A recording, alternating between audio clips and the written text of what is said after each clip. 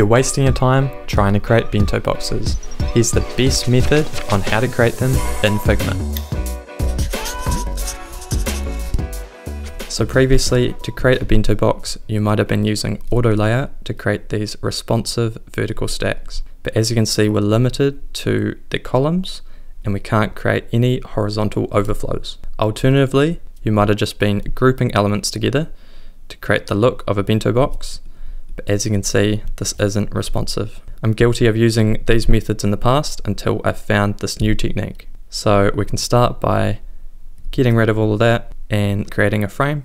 And I'm going to have my frame set to 1440 by 810, which is a good size for a website module. Now under our layout, we're going to select these four squares at the end, which is our grid. And here we can define our grid by number of columns and rows. So a good number I like to use is 12 by 6, which is divisible by 3. And I'm going to have my gap set to 20 by 20 and the padding set to 50 by 50. Now you can see when we hover over either the columns or the rows, we get these little dots at the top and we can actually click that dot and customize any of these columns to a different width. But for now, for this bento grid, what works well is a uniform grid that we can drop our boxes into. So once we've done that, I'm also going to change the background color to black. And now we're ready to create one of our bento modules. And so I'm going to start by typing some text, create bento boxes faster, which will be our headline and then holding Alt, click and drag, I'm going to create a duplicate, and I'm going to call this one customizable templates. Now I'm going to change the size to 28 and the weight to medium. Now select all of your text and click Shift A to create an auto layout and I'm going to have the gap set to 16 and then Shift A one more time to create the container for our text and I'm going to change the padding to 30 on the top and sides. Cool. So now we're going to give it some color. So I'm just going to give it a stroke to begin. Have my stroke set to white and actually we're going to give it a gradient. So our first stop is going to be white and our last stop is going to be white. Our last stop is going to be 5% and keep our first stop at 100. Now I'm just going to drag the first stop to the top left hand corner and the last stop to the bottom right hand corner. Cool. Now I'm also going to give it a corner radius of 30 and now we can give it a fill. Again it's going to be a gradient fill. I'm going to change it to radial and I'm going to drag this first stop to the top left and again that second stop to the bottom right and change this second stop to white and 0% and the first stop is going to be let's say around 8%. Now if you see this dot here we can click and drag that and as you can see, it changes the radius of our gradient. So I just want that to be nice and round. Cool.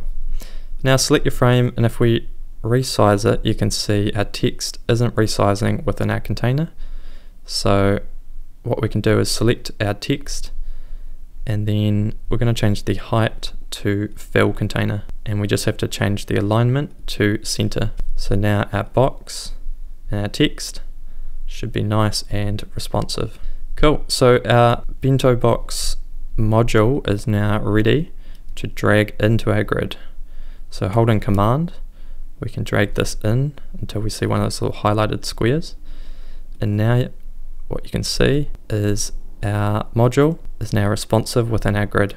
So we can drag this out, make it smaller, make copies, might want a second one down here, maybe not. What you can also do, so I'm going to create an image box within our, our bento grid. So we can start from scratch by selecting the rectangle and drawing directly into our grid. And then we just need to make sure the width is set to fill container and so is the height. And I'm going to give it a corner radius of 30 and the fill I'm going to change to image. So now you can simply upload your images to these containers. And so these are the basic steps to build out your bento box. So to save you time creating all of these bento boxes from scratch, I've created a free template now available on Figma community. I'll link to it in the description below. So all you have to do is open it in Figma and then if we go down to modules, you'll see we have all of these pre-made modules to choose from.